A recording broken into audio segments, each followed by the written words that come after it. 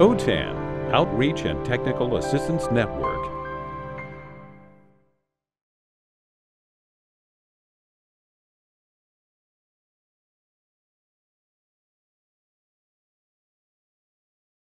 Hi, everybody. Um, thank you for joining. We're from Grossmont Adult Education, and we're just going over our uh, site plan.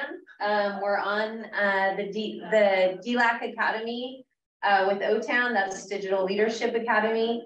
And so we're sharing with you what we have so far and, uh, and what we're moving towards. I'm Nikki, I'm our program specialist for Grossmont Adult Ed. I'm Jenna, I'm our distance learning teacher. I'm Barbara Van Dyke and I am an ESL teacher and the digital literacy integration specialist. And I am Jennifer Owens, the ESL director. And um, if we could just kind of hear from our group today, where everybody's from. Peter from Sacramento. Okay, Uh, Oakland. all right, great, welcome. Salinas, but I might be in the wrong room, so I'm double checking. Okay. Anybody else? Oh, go ahead. Oh, Sacramento. Down from Ventura. San Diego, Fresno. All right, welcome. Well, thanks everybody for Wait, we didn't coming. hear from this guy right here. East San Diego. Oh, okay. And um, for everybody on Zoom, welcome as well.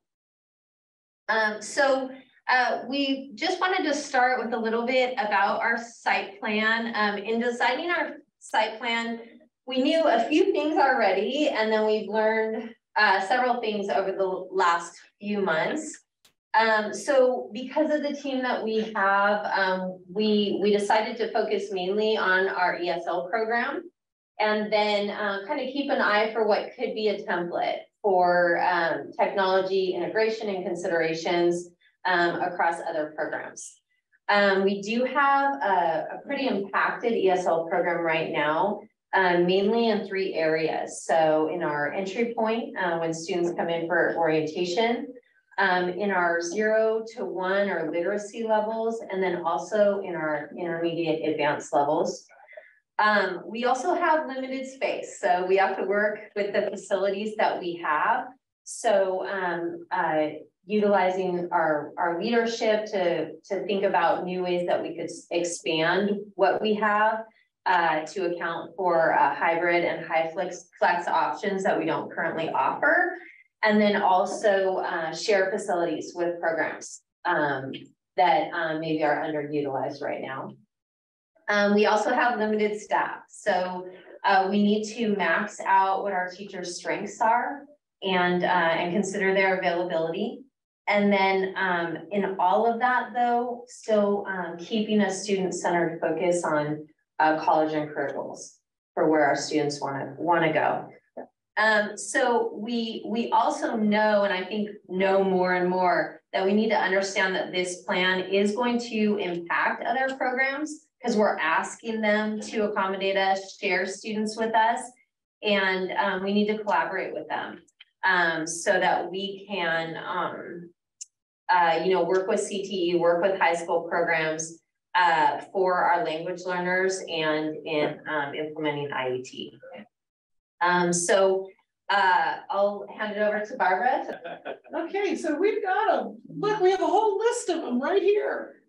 We're, we want to identify our learners' uh, prior knowledge and skills. We want to know what they know about technology, whether that be, uh, you know, to operate their uh, their iPhone or smartphone, or you know, if they're familiar with iPads or, or computers. So we, we really want to ascertain where they are in their prior knowledge of computers. Um, we are also looking at developing their digital literacy skills and, um, and those are uh, linked to our Grossmont Adult Education Technology Outcomes. And we want to do this by integrating uh, language learning because in our ESL program, many of the students are, um, they're just learning English. And so well, the ideal is to get them on programs on the computer where they're actually uh, improving, you know, their apps that are helping them to improve their language learning. So, uh, so that's another thing we're looking at. We're looking at um, what the learner um, access to materials, access to uh, technology. You know, if students don't have access, we want to know about it and we want to help them to make the connection so that they have the tools that they need to access online resources. Um, and we want to do this in an environment or in a community that it, that cultivates continual uh, improvement. Um, and uh, and also, you know, uh, be sure to uh, have regular assessments how the students are doing. Are they actually learning from this particular app? What, you know, how, how are the improvements in their language learning? And, um, and, and, and all of this in a very supportive learning environment or, or community. And Jenna? Hi. So these are some of our learners and pictures of our learners. A lot of these are distance learning students, our distance learning students that graduated from the program. They're holding those certificates. Um, as you can see, we serve a large population of students with from all over the world. Um, over the years, we've had different influxes of refugees come in. Um, when I first started, it was all Hispanic, 100%. And then I remember we had a huge Russian influx of refugees come in. Um, it was like 2010 15, but right now we serve primarily um, Afghanistan, students from Afghanistan and Iraq and Hispanic. Jennifer's going to go over the demographics a little bit more later. Um, but our students are from all walks of life, all over the world, all ages, um, like a lot of your students are, I'm sure. Um, and their goals are varied. Some they just want to learn how to use a computer and digital literacy. Uh, some want citizenship, workforce readiness, college and career, language acquisition, community. So they have varied goals. And um, uh, yes, so there we go. Then I have a video.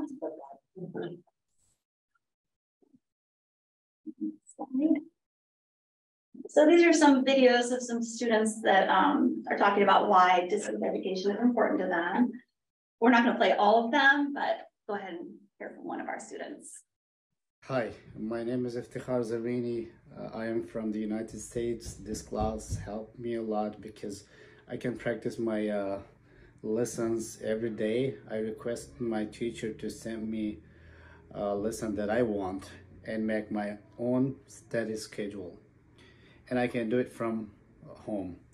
Uh, uh, I like distant learning course because I have children. I have a very busy life. Based off my uh, normal schedule, I can make my own uh, schedule to do my homework. Thank you very much, my teacher. God bless you. Bye. So currently our distance learning students, we do have the special circumstance students that really need it because they do work full time or they're on call or they have health issues or they're taking care of someone or you have young children or babies where they can't attend in-person classes. And then we have our distance learning students who um, they want extra homework, they want extra lessons. So they're attending classes in person as well and doing both. So it's more of like a support. And I get a lot of teachers um, contacting me saying, this student, you know, they need this, this, and that. So I can give them lessons that will help them achieve their goals, specific lessons that are tailored to what they need. Nice. So we would like to, Can we do some that? Oh, sure. We debated, I was just gonna put one because we only have a limited amount of time and I'm like. Um, is there one in particular that you would like to? Just pick one, Jenna. Pretty short, um, okay.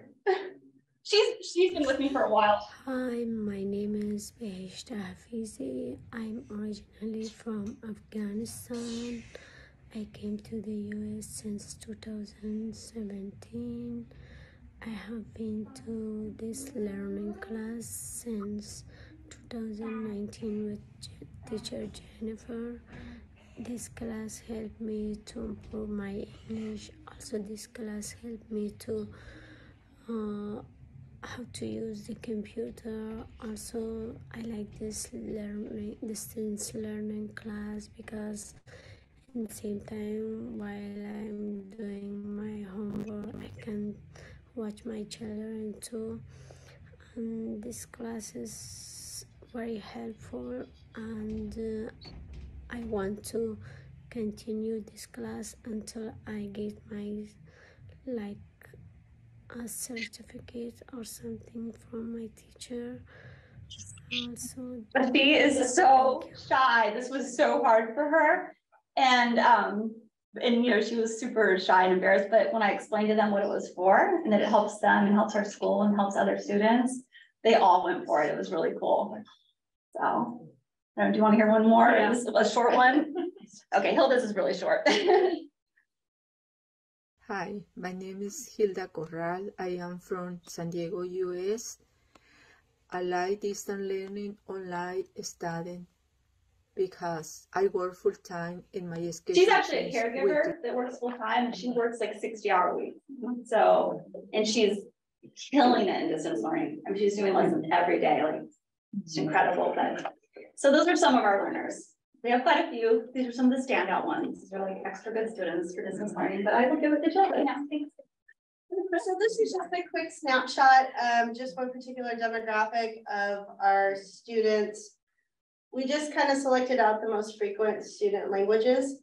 So this kind of gives you an idea of the students we serve. We have thirty-six point eight percent are native Arabic speakers, thirty-five point four percent Spanish, ten point five percent Farsi, and three point five percent Pashto. Then the other thirteen point five percent are the others all combined. Uh, we do have translators in our program. We have one translator that speaks both Farsi and Pashto, and we have a Spanish translator, and we're in search of an Arabic translator. This isn't a job posting announcement, just that we're uh, in the process of doing that. So we have, um, since July first, we've, uh, enrolled two thousand one hundred and thirty-three students in our program, so. I don't want to throw that. It's just. Oh, okay. Um, and then here again, it's just the same, uh, information on the chart for accessibility. And this, when we started this, I kind of just took the student tech survey that we all give our students. Everybody familiar with what I'm talking about, the one that comes out annually? And I just went through and I sorted through and found the ESL responses. And I was just looking as we're going forward, planning for different types of options for students. Where are students at? What do they have? And I think some of these are important factors. And as we're going forward and doing our planning, um, one of the ones I found really interesting was twenty percent of our students said in the survey do not have a quiet place to study. So at some of our centers, we have incorporated a student center. Uh, we're in the process of creating one at our ESL campus. And so this could just be a place where students have to go if they don't have a quiet place at home. Um, seventy-one percent of students said they do not have a device to study online.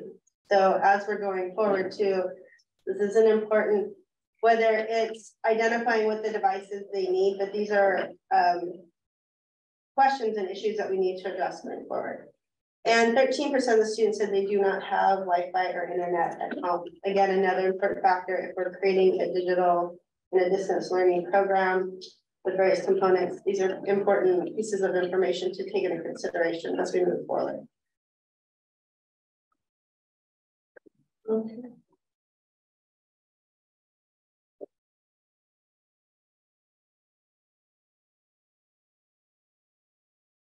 Okay, so as far as uh recruitment goes, um, you know, getting the word out is definitely a challenge, I think, because our programs can tend to be siloed. I don't know if anybody else experiences that at their school.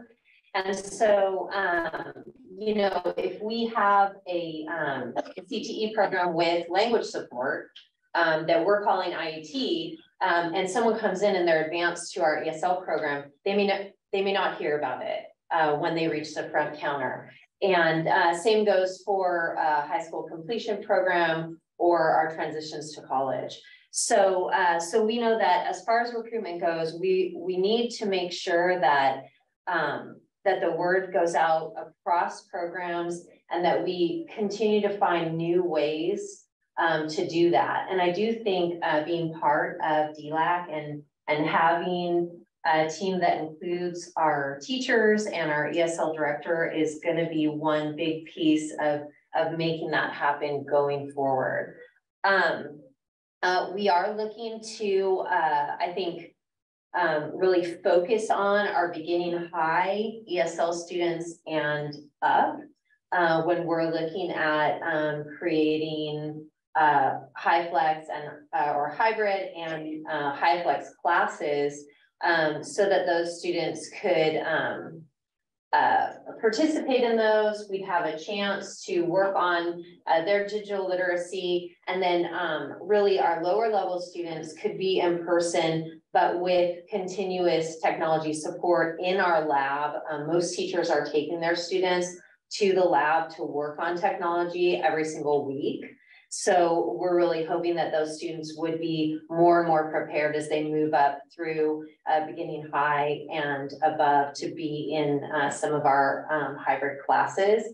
We do currently, and Barbara will talk about it in a little bit, have a beginning low to high hybrid class. Um, so we do want to make that available to the lower levels, but we also want to be really aware of um, what's working at other schools and what's working for our students at the at the very beginning of their language learning. Um, and then uh, we also want to make sure that our students who are able to go into our CTE classes with language support have the digital literacy that they need to be successful in those classes because a lot of times those classes don't stop to uh, to support them. So um, we're also um, starting some some new classes that will be kind of free classes like uh, foundational classes and um, computer basics and then being more intentional about our digital literacy pieces in our uh, vocational ESL classes so that students uh, get a, a stronger preparation piece at that level. Um, oh, and I, I wanted to make sure that I talked about uh, working with transition services. So uh, we do have a very strong transition services um, program at our school. So we have a transition specialist that's focused in, um, in each program we offer, but also that can work across programs. So, um, so making sure that Transition Services knows about all of the classes that are available and that we really collaborate with them to make sure that students don't really see that they see a seamless process of support to get into the classes that they need. And then orientation and assessing readiness. So, um, you know, we have a ESL introduction class, it's two weeks. Uh, right now, we're also taking a look at some of our programs that have successful orientation, specifically our Health Occupation Center. You know, they have like a two-day orientation process. We're looking at, could that be a better fit for our more advanced students than spending, you know, two weeks in, um, in an introduction class? Would that get them into their class faster? Would that get them into an IET class faster? So um, we're working with a two-week introduction class, but also looking at other models that might be a better fit, especially as we're bridging uh, our ESL students into other programs.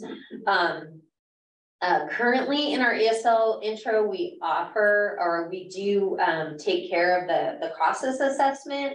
And then we also want to make sure that we have uh, digital literacy assessment going on um, in the introduction so that we can find out right away what students can do and, and if they'd be interested in a hybrid class. And, um, and then it's, uh, you know, really key that they're meeting with their teacher, that they're meeting with transition services, and that we know um, what does their prior learning look like? What is everything that they're bringing to the table so that we're uh, honoring what they've done before and maximizing it so that they could go into the right path. Okay, and um, yes, so uh, registration and accessibility. So the idea is that we're designing a, ideally we're designing a student-centered process so we're working towards uh, students being able to register online as well as in person. And um, and that I think that'll streamline, or we think that that'll uh, streamline things a little bit better for our students. Also incorporating in our orientation a digital literacy diagnostic score that will assess their readiness for uh, digital uh, uh, distance education and blended learning or Yeah, be- sorry. yeah, okay. Those are my- all right, those are your, okay, and if they don't meet the requirements, um, we're, we're gonna look for ways to help them to get there. Uh, we'll take a look at a prerequisite for, uh, the classes for students that are interested in distance learning and, and blended options. Um, that maybe they are not ready yet. And, um. Next one here. Yeah. And it's you. Okay, all right, so hybrid classes. I teach a hybrid class right now with um beginning low uh, to high students. And we meet twice a week on Zoom and twice a week in the classroom. Right now, we are so fortunate to be meeting in the computer lab at our Foothills uh, site.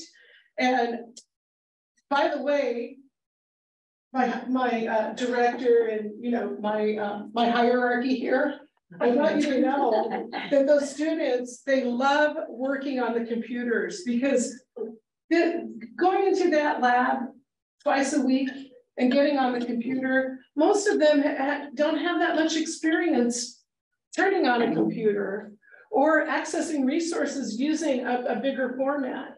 The, the, the biggest format they have is, you know, a, a smartphone.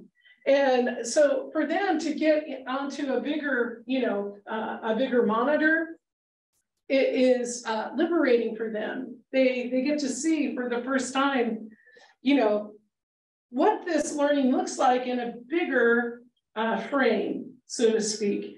And so one of the, the main things where we're headed with the hybrid classes is communication. Communication is really the key. Keeping contact with them either through email or in Canvas. All of these students are enrolled in Canvas and they're required to complete a certain amount of work in Canvas to become oriented towards that learning environment. Most of them are accessing Canvas on the phone. So they're seeing a teeny tiny little canvas. But when they get into the, the, uh, the computer lab, Canvas becomes bigger and it gets a little bit easier for them to understand how to move through the program.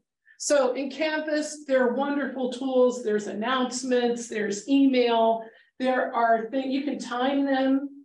And these are ways to keep the communication going with them consistently. You know, every day or not every day, but a couple times a week at least. And, you know, when I send them a video through Canvas, that it lights up their life, you know, their lives, you know, they, you know, they, oh, here, teacher Barbara, she's, she's in my living room with me, you know? So, you know, this communication is really, really important. And, you know, um, it, you know, it's a crucial aspect. Teaching strategies. So, you know, when we have these classes, we really need to figure out how are we going to teach in this online environment? How do we take what we do in the classroom, which, you know, we may be experts at a live classroom, and put that in the environment of, say, Canvas or on Zoom. And some uh, teaching strategies I have are uh, using, um, uh, you know, I use a, uh, a Google slide presentation with every Zoom, and that keeps us on track. That's basically our, our, our uh, lesson plan in, in, you know, in Zoom. Um, embedded support.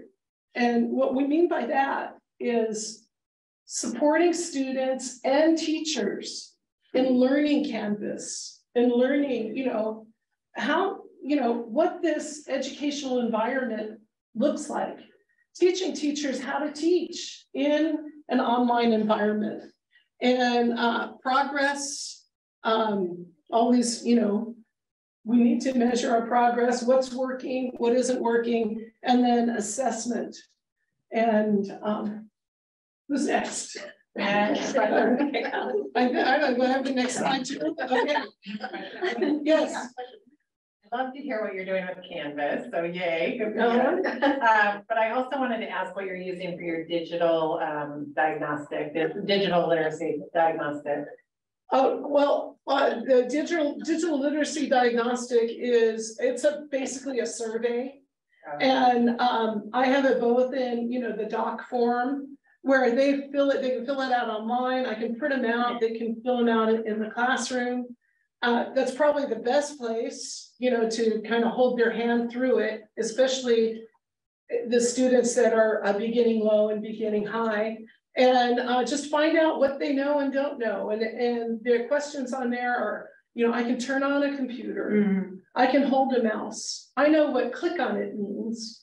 I know, you know, and it goes, it gets, the questions get, there's like, I think, thirty-two questions. It's a little long, but they, they get a, you know, a little more difficult. You know, they're the more difficult tasks as you go down the page. And Barbara, you developed it when you were teaching the di- digital literacy class, Yeah. right? But there's, and there's also one that you've utilized through Northstar, is that accurate? Um, Because Northstar has one too, I think, Yeah. yeah, yeah, and some of your students, I think, have Yeah, Yeah. so, but- but the, my main go-to is that, I mean, you can tell when you work with them online, you can kind of get an idea of what they know and don't know. When you get with them in the classroom, some of them cannot hold a mouse, you know, some of them can't click on the trackpad. You know, and it's because many of our students, you know, they're, they're, what's familiar to them is, you know, rural Afghanistan you know, where chew, maybe the closest thing to chewing gum might be, um, you know, for a sore tooth or something, might be a, an herb. You know, that they're, you know, this is so foreign to them. And so, and you can find out right away who is struggling and who isn't, and then you can figure out how, how to, to support them in, um, their digital literacy and becoming literate in, in this environment. Any other questions? No? Okay, good. You're hunting. Yeah. So one of the reasons why we joined DLAC and started this adventure, one of the many reasons, is to find a compatible resource for distance education with our LMS, which is Canvas. Um, this is a lot of language up here, but something that meets a lot of these needs. Finding an online curriculum for various levels, because in distance learning, we serve various levels, the multi-level class. It's also a very large class. I mean, I've honestly, I've had up to two hundred and fifty students. Wow. Um, that was when I had ten offsites that I was visiting, so a lot of the students were dual enrolled. But on average, there's probably over hundred, about hundred and forty. Yeah, so it's a lar- it's a large class with um a multi-level class and currently. Each student has an individual class. I'm trying to help them reach their goals, so they're getting individual lessons. And they're all different levels, so it's a little bit challenging and hard to keep up with. At the same time, I'm searching, we're searching for something that is compatible with our LMS as well, which is Canvas, which is awesome. But to serve the needs of the students currently and how it's um structured, it's a challenge, and that's kind of that's one of the reasons why we're here. Um, yeah, so finding an online curriculum for various levels, meeting various student goals in a large class. Um, tailoring and modifying lessons, I already talked about a lot of this. Um, right now, I do have a website that I use, um, and it has a calendar on there where students can make appointments with me, so I'm accessible to them. And I have a little QR code, which is blocked, I think, so I don't know if it's, I don't know if you can actually open it. But on there, there's a lot of, um, online educational resources, OERs. I have a whole page of them that you guys are welcome to look at that I've put together over the years, that actually we've all compiled over the years. And I've checked all of them, so they're all current. It's a very, very long list, but it's, um, it's helpful. And so I use a lot of supplemental materials. Um, I have a digital literacy assessment that I give them, um, that's online that they can do too. Um, but yeah, curriculum that's user friendly and geared towards adults is also a little bit difficult to find, as you guys know. Um, as ESL teachers and uh, can be monitored by the instructor anytime, anywhere. It's accessible to the student on any device. Um, like Barbara was saying, a lot of them are using their phones, so you need something that's compatible with that. Um, so if you'd like to look at my website or anything, you can go ahead and click on the QR. I don't know if it, can anyone try that? Ellie? It opened up? Okay, cool. Cool. So What have you found for advancement students besides Burlington English for ESL? Currently, I'm using Ellii, which is ESL Library, the digital component of Ellii, um, as one of my main platforms. Um, also Reading Plus and, uh, touched on Burlington a little bit and Northstar. So. Was it reading what? Reading Plus, yeah. Students, that's a higher level, um, program. It's usually geared for the higher levels, but they enjoy that one quite a bit. Any more questions? I did have a question. Um, about how long does a student stay with you? Can they continue semester to semester? They can, I mean, sometimes, you know, with any of our students, you have to kind of push them along a little bit. Um, Bahishta, the really shy girl, she's been with me for quite a while and, you know, when, the- when it seems like it's like, when they're ready to move on, I kind of meet with them and help push them to go towards their goals, you know, like it's, it's time to to go. I mean, I think we all deal with that as adult ed teachers. They want to stay with you sometimes a little bit longer than they should, actually. But um, on average, I would say probably a year, depending on where they're at when they start with me.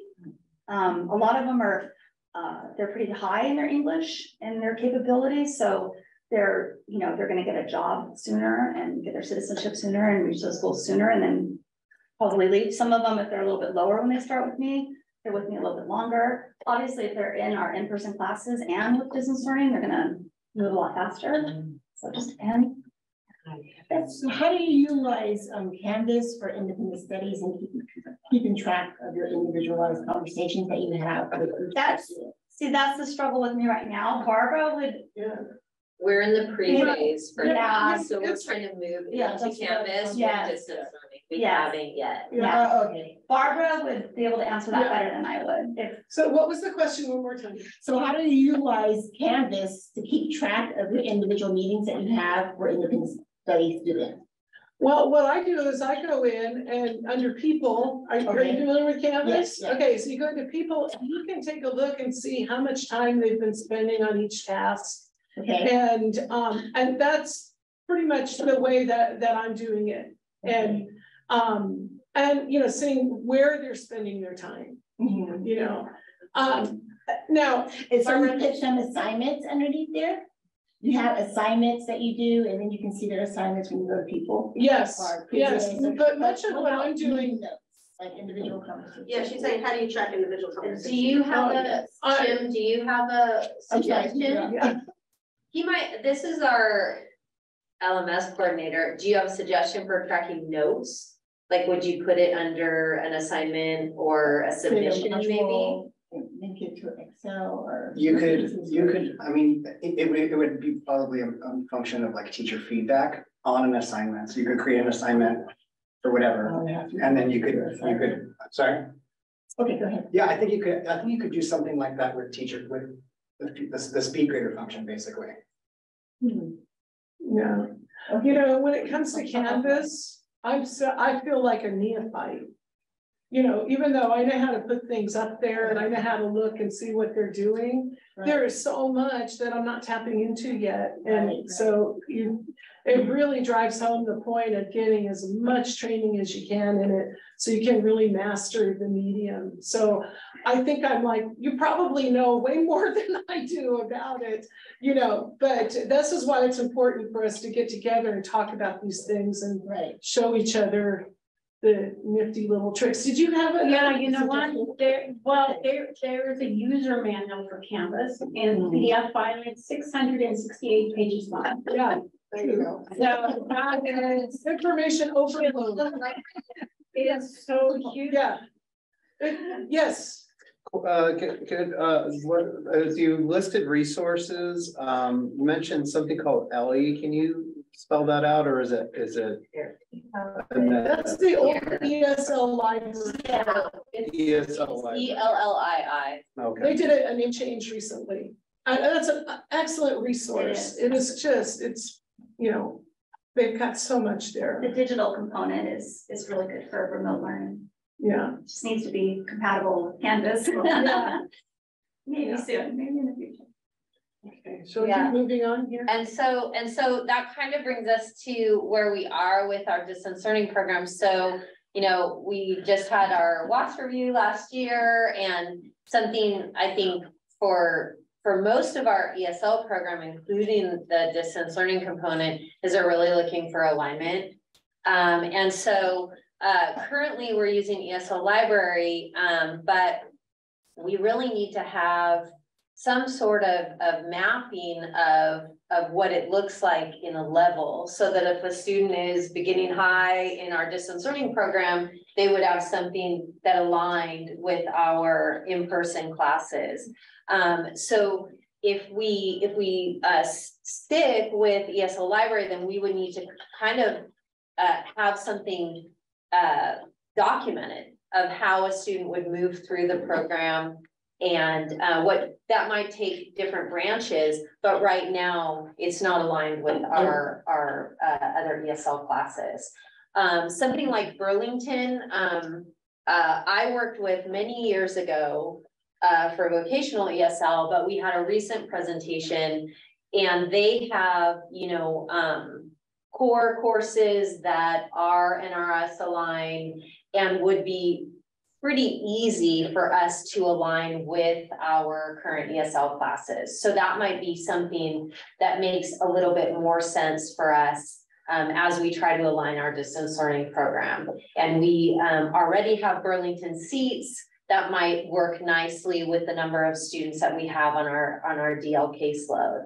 Um, currently, um, and, and you know, when we met with Burlington, um, like their, their EL civics is not Canvas compatible, but uh, I guess their core is more Canvas compatible or closer. But it still seems like we would need to embed a link and take a student away from the Canvas page, which is what we're hoping not to do. So, um, so, you know, we're looking at that. And then as far as Northstar goes, that's also something that we use. And um, we really want to look at how can we align the digital literacy aspects of Northstar uh, alongside our ESL curriculum. So then we could kind of put that alongside in person as well as distance learning classes for that D, uh, DL component. Um, we have this year um, had uh, our ESL programs have been working through PLCs on a program wide pacing guide to align our ESL levels. Um, so that's a work in progress, but they've been able to kind of, um, you know, show timeframes, show competencies, um, identify objectives, and then, um, and then really, uh, hopefully get closer to a project-based focus where they have activities that are, that are our primary assessments. And then we're not really believing that our book is a curriculum, that's really just a tool towards mastering those competencies. So, so that's something that we, we hope ultimately we could find something for DL that matches up with the work that we're trying to do for our, for our in-person ESL. All right, program materials. I, um, program, uh, measurables. Yeah, okay, surprise. All right, so improve digital literacy skills. This is something that we can measure. We can say, okay, this is where they are now. And in three months from now, six months from now, it's probably maybe four months, you know. Um, you know, we can measure it and see how they're doing. Uh, and we can also measure their language proficiency from today, you know, three months from now, after using a, a particular program. Um, and we can also, because we've got the computer and, you know, we're in a digital environment, we can, it's very easy to measure these things. You can see how much time they're spending on a task, what they're doing. And, um, and, you know, if they are, you know, if they're engaging or if they're just laying on the couch. Um, positive feedback from learners. Do you like this? Yes, teacher, yes. No, teacher, no. I don't know, teacher. So positive feedback, reduced barriers to learner learning. Are they able to access the information? Are we taking away those barriers that are keeping them from getting to the uh, the curriculum that we're offering them in the online environment. Um, we're looking for consistent participation. And so we're questioning, what is it that we have to do to ensure that they are online regularly? And then um, another uh, uh, measurable would be, you know, how many students are completing the program? You know, how many are getting um, a certificate? How many are moving up in a, maybe uh, from low beginner to high beginner? You know, how many are, are moving up that way? And was there anything you wanted to add? No, okay, good. All right, great. Okay.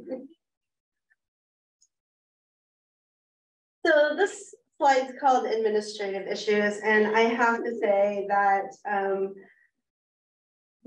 my objective and my goal always is to be a support in whatever way I can to um, such amazing teachers. I don't know if when I say that working with them is an absolute pleasure, they're all very genuine and what you see is what you get. And students are always at the forefront. And as an administrator, that makes my job so much easier because they're they're genuine in what they do. They care about the students. They go above and beyond. And yeah, I mean, it, it is just such a pleasure. So one of the things that um, when I started, and I've only been in my job since June 1st, so I still say that I'm new. I get to say that for like a year, right? okay. So one of the things that only six months? Yeah. Oh shoot.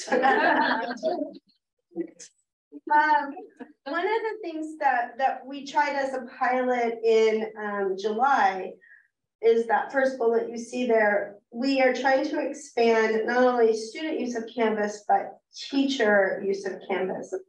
And I know for myself, I mean, I taught in academics for 15 years and we had a new administrator come in saying, digital literacy, and I'm like, wow, I don't know what to do with that. So when I started my job, I thought I wanted to create what I wanted when I was a teacher, which is someone like Barbara who co-teaches with me at least a day. So what would ha what happened or has been happening is um, classes come into the computer lab, like she said, like this, and I made up a title for her. She didn't get a pay raise or anything fancy with it, but we call, oh, it's coming. Uh, she's our digital literacy integration specialist, which is totally made up and not by any means legit. Except for that the fact, except for that the fact that um, it, the, the six months that we've been doing this, not only has uh, Barbie used to teach a digital literacy class where she would, you know, serve 20 students. And I said, why can't we expand that out and rather than just 20, you're meeting with 150 students a week. And so uh, Barbara works with the teacher. She, they have built um, or improved Canvas courses for most of the teachers that she's worked with. So not only are students going in and learning Canvas and how to use it, but the teachers are simultaneously. And I think a lot of teachers were Canvas shy. Um, we kind of, you know, We through- still are. Okay. We're getting better. Um, I think in COVID, we all kind of scrambled to survive. And you know that term, let's, you know, we build the plane as we're flying it. So it's been my uh, priority to make sure we build the plane first before we start flying. And participating in DLAC has afforded us the opportunity to really examine that, look at what we need, look at what our students need, look at the resources we have, and how can we build this plane, get things set up, and then kind of roll it out so that teachers are comfortable, teachers know are know what's going on, so that they can help students better. I think it's just, in my opinion, the best way. Um, oh, I look and I skipped right to bullet number two all of a sudden. So again, that's this core right here. Um, we have some teachers, like Barbara said, not everybody's into all of the digital technology and all that.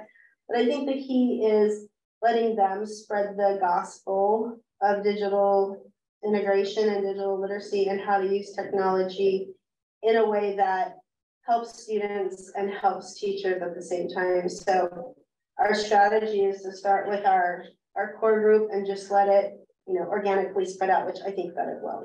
And I think it has, even just doing the integration specialist part, Mhm. right? Um, one last thing too is we, Nikki had mentioned at the very beginning, we have limited space. We just had three new buildings added to our site, which is super great. Um, but we still have limited, limited space for how much we have. So we're really looking at having more hybrid options to maximize classroom usage. And, um, so part of what we're building now, hopefully rolling out for the fall, they don't think they know that yet, but um, and hoping, trying to have more of those hybrid digital, um, options where we can have two days in person, two days on Zoom, like, or some kind of synchronous on Canvas or whatever that Barbara's doing right now, so. Administrative issues, my, my job is easy by their professionalism and their knowledge and their, their dedication to our program, so I'm grateful for that. So. Could I ask you one question sure. about this uh, hybrid or the hyflex? Is the adult education uh, um, permitted to adopt this hybrid and flexible, flexible, hyflex class? In our organization, yeah, we can. So you belong to COE in doing it? Because I understood that it's, we have to be hundred percent face to face now after the pandemic, so. Um, I just wanted to. It has to be. A sure. I could, I. Yeah, and- go ahead, go ahead. I could speak to that a little bit, just because that's where I'm living right now, it's just a lot of, I'm doing a lot of advocacy in my district. Um, so pretty much, uh, adult education is, um, unfettered by the bounds of AB eighty-six, which only, uh, applied to the ye- academic year, uh, you know, 2021-2022. So at this point, we're no longer, you know, agencies are no longer bound by that, to my knowledge, although you may want to double check. Although just based on my research, uh, it really comes down to what your county and your district, you know, what their policies are in regards to, uh, you know, distance learning. I know I had the right, I wrote basically a research article to convince my board or my district to open up one section of uh, HyFlex, which is what I, what I teach in the morning. So um, it really depends. You have to kind of talk to, you know, your district, see what. they- I, I, I asked that question because I am really into this technology and use it, but they just flat out and told me that we have to be hundred percent face to face because the pandemic is over. So what I build all these things, now it's in the face to face. So I'm just curious how you get approval, and so I wanna just. And I would say Jenna, Jenna's been doing distance learning for way before COVID. Way before COVID. Yeah, and I, I think a lot of it is maybe just how it's, um, there's certain, you know, like funding guidelines that have to be followed, and I think if you're very specific, but you might wanna ask somebody else, I don't know. I don't know, I'm just curious, Yeah. other county, but I, I know our school is not. Doesn't support it, doesn't Yes. support it. Yeah, Yeah, and we, like I said, we've had a distance learning independent study option for yeah, way before COVID. it's least. not just COVID related, it's. Yeah, no, way even before COVID, we had it. Since the nineties. Um, our, uh, I know your health occupations, our health occupations also has a hybrid option for at least three of their programs. So That one maybe, I know because, uh, I have to get board approval. yeah, But it's a school wise, it's not permitted, so I, I don't bother to go get, uh, I mean, I have to get accreditation from California State Board for the nursing department. And then CNA is a CDPH, that's a different one. yeah, And the school wise. Yeah. We belong to the school district, so I like to know if, uh, you know, the school district get the permission, I would implement definitely that whole. I'd like. We can, you know what, we will, I'll ask somebody higher up than me. And we'll get back, yeah, we'll get, we, we can get back to you, we'll, we'll find out, I mean, we can help you with what we know. And it might just be based on whatever the parameters are for the district or the area. I do think it's a district mm-hmm. decision. Mm -hmm. And if, if you're referring to COE accreditation, I think that's maybe a separate thing that you'd have to ask the COE. Right. Yeah. COE in Iowa. is it called Iowa oh, or Iowa?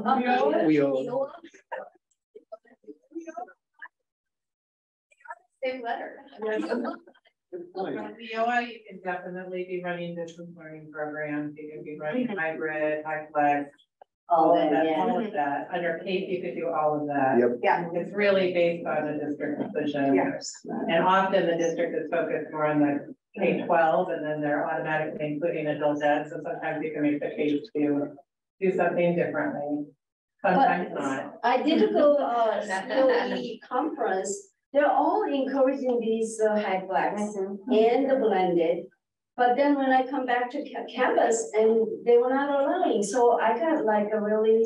Makes no disconnected. sense. Yeah, makes no sense, exactly, so I'm just wanna know how, how they got approved, so I can implement it.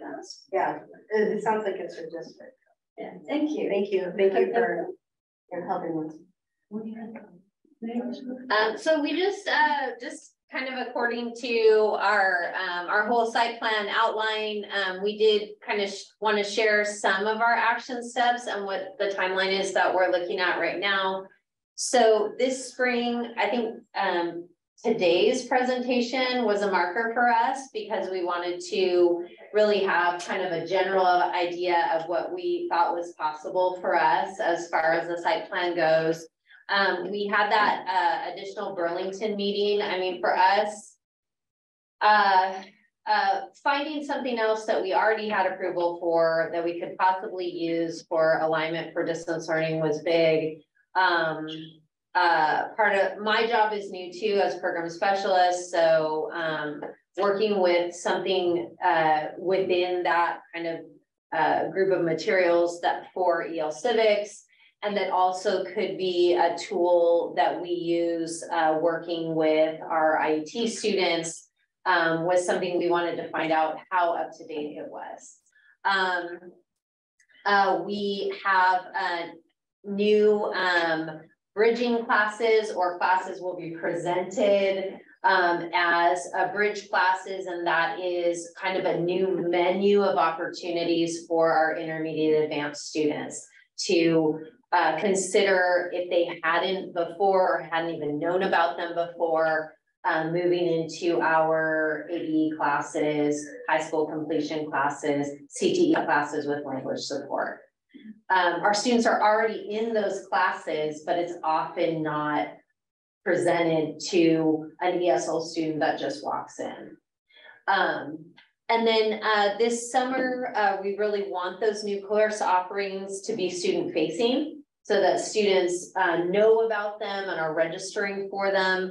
Uh, and um, we'd really like to see through our work in DLAC um, how distance learning could um, be a, um, a support for uh, our IET uh, classes. So uh, students coming to us, either they've joined a CTE class and decide they're gonna step out and give themselves more time, or they decide that they're ready with language support. Could we offer uh, uh, steps that they could take to prepare themselves? So uh, just one example, I'm working with a student right now who is in our uh, CNA course. She decided that she wasn't ready. She wanted to step out. So um, she has time for an in-person class, but she also uh, would really benefit from contextualized distance learning, which is something within the Burlington modules, especially because we don't have right now a contextualized medical preparation class. So, so we want to be able to offer multiple steps for a student to prepare themselves uh, for the CT course they're, they're going to enter.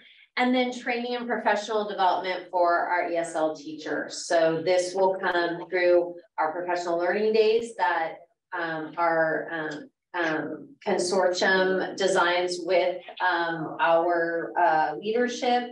And um, we have um, uh, Canvas, a time for our teachers to join for one-on-one meetings, and then professional development uh, through their PLCs. So um, we just wanted to uh, also give the last few minutes if you have any more questions or suggestions for us, ideas uh, that could help us or that's worked for your schools. Sure. Um, it, will- uh, ESL introduction class was mentioned, that's two weeks long. Could you go into more detail as far as the hours and what you do in that introduction class? And are they actually registered for that class or it's just prior to registration? So I'll let Barbara and Jen. The, uh, the orientation is to, uh, before they can take any classes, now, now they come in and they have to take a two-week orientation. We want to get a baseline on the CASAS score for them. And we also want to introduce them to our campus, to, you know, help them to become familiar with the environment that they're in. And it, it's a two-week course, um, and it combines both, uh, well, when I taught it, ESL games, you know, preparation for uh taking the CASAS test, because that can be very grueling. And for the teacher, you know, kind of um ascertaining who can actually take the CASAS test and who would go right into uh a pre-lit class. You know, so we, that that two weeks, we're identifying their levels. Wow, and is it We- we like three days a week, four days a week, is it? So it's, um, four days a week, for all intents and purposes, four days a week for two weeks, there are three hour sections, we offer morning, afternoon, and evening. And, um, other components, in addition to what Barbara said, uh, there's, uh, writing assessments that take place from the teacher, and then the, the students leave the class with a portfolio of writing samples, so when they get to their assigned class, their new teacher now has not only their reading and listening CASAS score, but they have some writing samples as well. Um, they also have digital literacy. They, if they don't have an email account, they, we help the teachers get an email account assigned to them. Uh, we're always kind of looking, that just started in July, and so gone through a couple, you know, iterations, I would say it's just, you know, it's just changing and evolving all the time. We're also introduced to all the programs that uh, Grossmont Adult Education offers and what's available through our consortium. Our transition specialists come into the class and do a presentation. Our academic counselor comes into the class, so the students know that they have the transition support and the academic counselor. Um, I'm forgetting also happens. I think that's pretty good. But you do prep them, you actually prep them for content, they don't take content in the base, like just what they know and they. They don't go in cold. But I, I created a website where I put the CASAS uh, practice up there, so they get Chromebooks. And, you know, we're ascertaining if they even know how to turn on a Chromebook. And then we're teaching, if they don't, we're teaching them how. There are other students in the, the class that help. They're more than happy to help the, the ones that don't know. And uh, they're going in through that, you know, that link in the website to practice CASAS uh, questions. And then a, a few days later, after they've had some, you know, some practice on there, then they actually take the test. And we do all the testing. Yeah. E-testing, yeah, and so do they take this, like, do you have the class every two weeks continually, and then they just, Yeah, you have open enrollment. a two-week cohort, and so that class finishes, they get enrolled, then the next two weeks, group. So you have open enrollment. Yeah. Yeah, and they register, they come into the office, and, and what we did is we moved, we put the intro class at our main campus where our other CTE programs are and academics are, so it's out of just the ESL only campus. So that they're familiar with what else, other options are available to them. So they come in, they do the two-week class and they're And they register at the end of the class then? Yeah, it's part of that, like the last day of class, we do just kind of that registration into whatever option you're doing, but they initially register. In the ESL office, they'll come in, fill out a registration form, we help them select an intro class to start based on when they're available to do it. And when we finish, that, the way I did it is, it was like their ticket. Their ticket to, you know, enroll in a class and. So yeah, it's just usually done on the last day of class, they're enrolled in the class. Just a dedication to the program. Yeah. Yeah, What was and their dedication to the program, their motivation. for- Yeah. Yeah. What continue. district is this? Grossmont adult, What is it? Grossmont adult. East San Diego County. That's everybody. really interesting that you asked that, the, so they enroll, they enroll Uh, and they take classes after the orientation class.